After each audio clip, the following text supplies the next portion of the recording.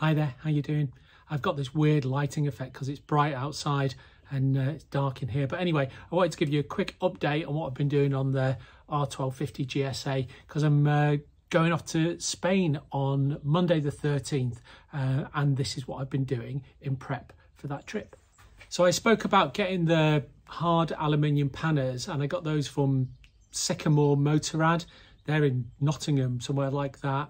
Um, and what I was looking for was for the little nets that go in the top of the in the top of the uh, the pannier lids. And of course, you can go to Wunderlich and you can get them for I don't know 60 euros, 40 euros, something like that. Um, but they're actually really easy to make yourself. All that you need is a bit of stiff wire and that locates into two pop rivets on either side and then you can just string a little um, elastic net between them. And you're only going to put light stuff in there. You're only going to put I don't know, spare pair of gloves or, um, you know, some Gore-Tex liners or something like that. Um, but that worked kind of quite nicely. And then the other things that I use as pannier bags are um, bags for life. So I got a, this fantastic bag for life from Geneva Airport, which has got a zip top bag. So if you go through Geneva Airport, get some duty free and get one of the zip top bags. And then uh, but the one that you can see here on this video, it actually used to have a blanket in it or a duvet or something like that, just the right size to go into one of these panniers. And that means that when you're traveling somewhere, you know, if you're doing an overnighter, you can leave one pannier that you never touch and then just pull the other stuff out on the other side. So I've been really pleased with those panniers. They're, they're, they're good. So I did the screen first and just um, the I put a Puig screen on it. It puts about an extra six, seven uh, centimeters on the top. That's made a big difference from, from when I've been riding it. Um, the hand guard extenders, they're just cheap ones off eBay. Uh, just gives your hands a little bit more protection just in the cold, basically. It's got heated grips, of course. Um, the other thing that I got was a, a hard toolbox that goes on the left hand side of the bike and kind of mirrors the exhaust on the right hand side Again, that was an AliExpress one, 40 quid. Seems quite robust. And uh, in that, I'll put my puncture kit uh, and a little compressor. On the R1250, it's got tubeless tyres, which was one of the big reasons that I got it. Um, means a lot because there's no way I'm going to be changing tyres. That, that, that is a skill that I'm not in keenness to um, acquire. And then finally, the thing that I did was coated it with ACF 50.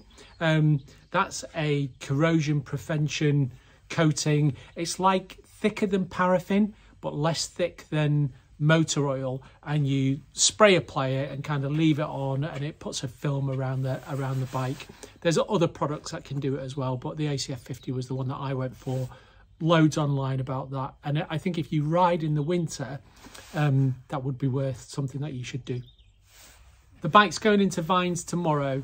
Uh, nothing wrong for it. It's going in for an engine recall. Lots of them are going in. Uh, the engine recall is for um, a situation that I know now I will never ever get in. It only happens when the bike's in the air, you've got a fistful of throttle and the back wheel's spinning, then all of a sudden you land and uh, an undue amount of stress is put on the on the on the drive shaft. Will never happen to me but it's part of the recall process. So it'll go into Vines tomorrow to, to, to get that done. So this is the sat nav. It's actually a Garmin device. You know, it's branded as BMW, but it's actually a, a, a Garmin device. Um, and it sits in the cradle. I did a video about how that how that cradle works. Um, I had a little bit of trouble with this, but the good thing is is that the Garmin Garmin's customer services is world class. I do a little bit of technology and customer services, and I aspire to the day when ours is as good as theirs. You phone them up, you tell them what the problem is, and they come up with really good ideas to fix it. I was having a problem with the battery in this, and um, I figured that the battery was probably dead. It's four or five years old, I think. Um, you can go to BMW and get a battery, and they'll charge you, I think it's like 65 quid for a battery or you phone up Garmin and they'll sell you one for 13. Long story short, didn't actually need a battery. This is the only device that I know that only charges when it's switched on. So um, if you just, uh, when it's asleep or switched off, plug it into the USB charger, doesn't work, doesn't do anything. Only charges up when it's switched on. So anyway, I bought a new battery uh, Anyway, I got this while I'm just remembering. I got this off the uh, uh, BMW GS forum, um, which is fantastic. So if you ride a BMW GS bike and you're in the UK, go and join the forum. And um, I've got a few things off the for sale site. You have to pay to join the for sale site. I think it's like 15 quid for the year. Um, but it's fantastic. So I got my uh, sat nav off there. I got an, an all weather suit off there that was was still uh, had the price tag on it for 45 quid and the guy sold it me for 25 and I got the uh, tank bag as well that, that that tank bag there. Really fantastic. I would really recommend that you join that site. I'll put a link to it in the uh, in the in the notes below.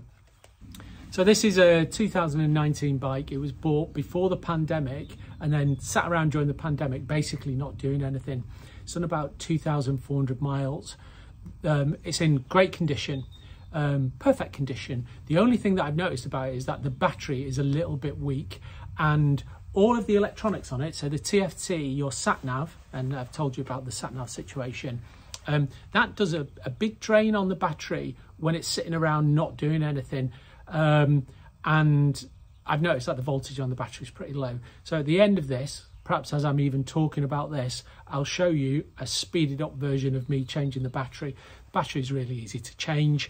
Um, I use a place uh, called Tayna batteries. They're up in North Wales. I've got batteries for the i3, and you know, whenever I want a battery, you can order it at lunchtime, and it'll arrive first thing in the morning the next day. So I've got an Exide battery which will go into this, um, and then I'll take it over to Vines tomorrow.